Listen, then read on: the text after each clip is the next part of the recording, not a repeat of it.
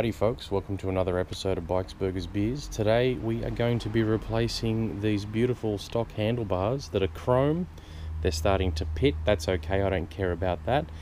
But what I'm finding is that my hands are just sitting too low and I was talking to the guys at Barcraft which make Australian made handlebars and they've sent me out a set. Uh, so this video isn't sponsored, however they did look after me. So I uh, put the uh, promotion or sponsor thing at the top here. But uh, yeah, I did have to pay for them.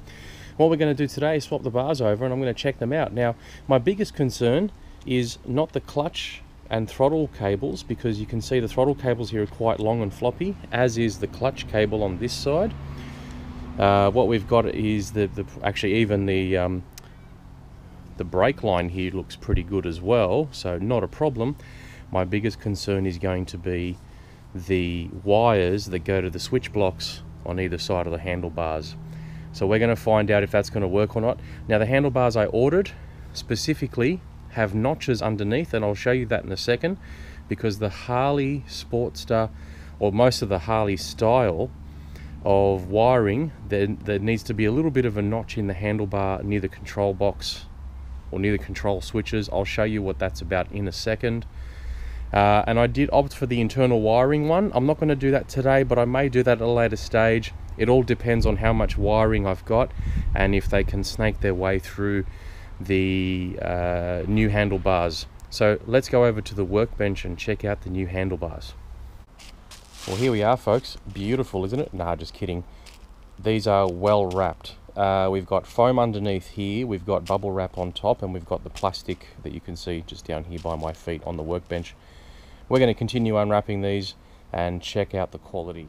Oh, here they are, folks. These bars look amazing. Now, they look like chrome, but it's actually polished stainless steel. Very high, beautiful polish. There's not a mark on these. They were packed really well. I like the knurling here as well, which is really good. Uh, that's going to prevent the bars from moving forward and backwards because there is a bit more leverage, I should say, having longer bars. Now, I'm looking at my bars and I'm looking at these, and I have to say, it's not that much longer. Now, I'm going to take them over to the motorcycle and let's see if uh, uh, we can see the comparison just by putting them in situ. I haven't done anything on the bike yet. So I may end up having uh, the right amount of cabling and we won't need to worry about things. But yeah, let's check it out. Okay folks, so I've kind of just put the bars in place here. Obviously it's not in the right position, but you can see a couple of differences and this is the biggest thing for me. It wasn't so much the height of the bars. You can see from standard and these are the standard Sportster bars on my 2013 Sportster uh, Custom 1200 you can see they're not that much higher. There's only about oh, I'm gonna say about three inches difference. The main difference I wanted is notice how the bars here compared to my stock ones the angle is different. Let me put you at a better situation where you can actually see see the angle it's different. That's going to help out with comfort for me because I prefer a straighter bar. And in addition to that it brings the hands up a few inches higher. Now obviously when I mount these in place they're probably going to be up here somewhere and a bit more forward where the mirror kind of is right now. So it's looking pretty good so far and I think I may have enough cabling. I may. We'll find out Alright folks, we're going to take off the right hand side controls. This is where the start button, the kill switch and the right turn signal here is. And uh, we're going to need a T25 Torx bit to undo the switch block. And we're going to need a T27 to undo the front brake master cylinder assembly. So let's go for that and then we'll do the other side. Then we're going to use an Allen key to take off this assembly here. Just gently lift it and remove the handlebars. Alrighty, so here are the old bars that I'm holding onto with my left hand and the new bars are underneath it. You can see the difference here and also the big difference. Look at that pullback. Look at the difference in the angle there. So that's going to allow my arms to be straighter. Now here's that notch I was talking about. That's where all the wires kind of go in and uh, that notch has been put there so the wires can go through uh, past the control boxes and uh, into the inside into the into the switch boxes basically. And you can see on the new one you've got it there as well except these are designed for internal wiring so it gives you the option to uh, to have both. You can go internal wiring and uh, all the wires come out of the bottom of the handlebar there. You can see the hole there. Okay. Now these bars do not have you can see my index finger here. That's the OEM Harley stock handlebars where the clips go into you can see the new bars don't have that at all. So you're gonna have to use zip ties if you want to keep external wiring. So let's mount the new handlebars and fingers crossed we have enough wiring to go to the switch blocks. Well folks, we've hit a bit of a hurdle and it's my fault, not the bar's fault and not Barcraft's fault. So the notches that are here for the internal wiring cannot be used simultaneously to uh, have these wires from the control boxes, the switch blocks, to go in because the wires are just too thick and too stiff for that. Because these edges are sharp you'll also run into issues where it can cut the wire as well. So what I also found is that the bar will more than likely sit.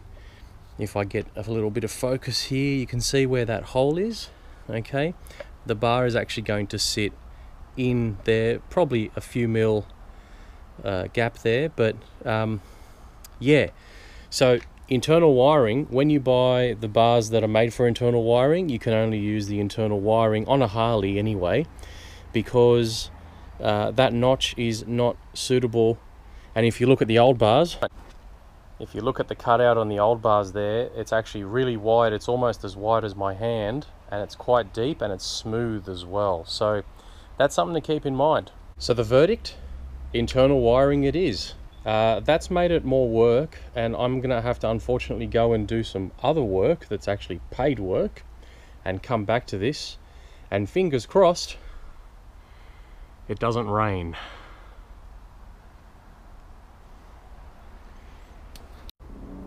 in case you're wondering if you could make life a little bit easier by not removing the petrol tank and just removing the switch blocks undoing the wires from here the reality is is you can't because all the wires are actually mounted into each switch and uh, they're using rubber grommets.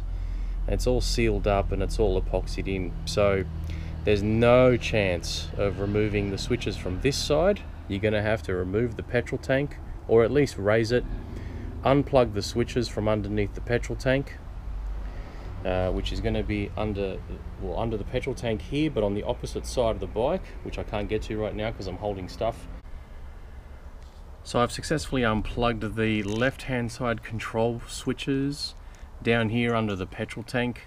Uh, you just remove this flap here and you get basically access to both sides, left and right. There's the other side in there. The next part, the daunting part for those uninitiated, we're gonna have to remove all of these wires. Now you don't cut them, what you do is, if you look down the plug, Notice there's a row, now I don't know how well this is going to come out on the GoPro, but notice there's a top and bottom row of pins. And then above the top set of pins and below the bottom set of pins near my thumb, you can see those round little circles. Yeah, they're holes. And you've got to stick a pin in there, probably like a small paper clip, and it will actually release these wires from this switch. The daunting part isn't that. The daunting part is getting the wires back in in the correct position. So the best thing to do is take a photo of this so you can remember or write them down so you can go, okay, here's the side of the, the plug here where the clip is. Okay, so see this side's nice and smooth. You got the clip part down here. Don't worry about that. This part here, you can go, okay, you got black, black with a red trace, yellow with a black trace, white with a purple trace, and then on this side, on the smooth side, you've got orange with a white trace, yellow, blue, doesn't seem to have a trace on it, and white. Okay, I'm saying that out loud as well because I want to know how to put it back together properly. Alrighty folks, so I've got the wiring in here. I can't really show you because uh, it goes right into the groove.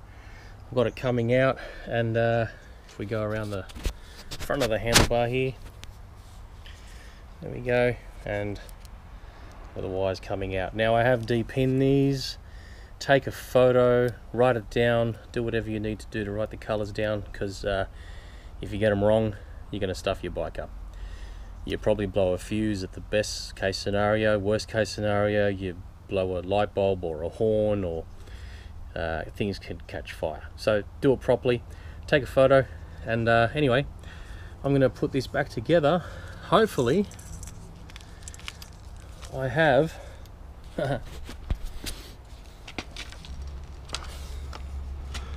looks like maybe just enough cable length to get this through. Uh, let's carry on. I'm going to put the connector back on. Now these are called Molex connectors. This is a 2013 Sportster. So non-ABS. 2014 they went to ABS. The connectors might be different. Best to check with your particular bike. Alright folks, so we've uh, got the new handlebars in place. Everything has been wired. You can see, however, the wires are coming down here, and I have to say, unfortunately, you do need a wiring extension kit. So the thing is, I only need like two inches, you know, 50 mil, five centimeters. Uh, but um, anyway, there's enough slack there, but uh, I'm gonna take it for a ride, and um, yeah, when I when I turn the bars, it's uh, yeah, not really an issue. The bars are on and uh, I just have to make some minor adjustments like um, tightening these up tightening this side up. I'll do that and I'll have to readjust the, the mirrors readjust the mirrors and I'll have to readjust the indicators too so in here there's a grub screw you turn that to, to loosen it you'll be able to move these indicators around there's like a ball joint on the inside don't know if you can see that or not. It might be too dark under there. And uh, then you just aim them straight and you tighten the grub screw back up. You do the same on the other side. That's pretty much it. I'll uh, show a photo of the finished product once it's all done. But for now, she's done. Until then, remember folks, keep it twisted. Alrighty folks, there we have it, installation of new handlebars and with internal wiring. You can see there's a fair bit involved in getting that to happen. So I hope that uh, people who might uh, maybe make uh, opinions and assumptions about why it costs so much to get your handlebars replaced will see how much is involved. I cut a lot of the bullcrap out of uh, feeding the wires through the handlebars and all that stuff it's not easy, let me tell you. But guys and girls, there we have it. And uh, this is me test riding the bike. I'm just going for a little ride with the motorcycle. You can see in some of the shot there, the wires did have to come around the back of the triple clamp there. Uh, unfortunately, they just weren't long enough. These are the stock wires and uh, I will be getting a wire extension kit to make sure that's nice and safe and routed correctly. So thanks all for watching and uh, appreciate the love, support and don't forget to subscribe and hit that thumbs up. Cheers!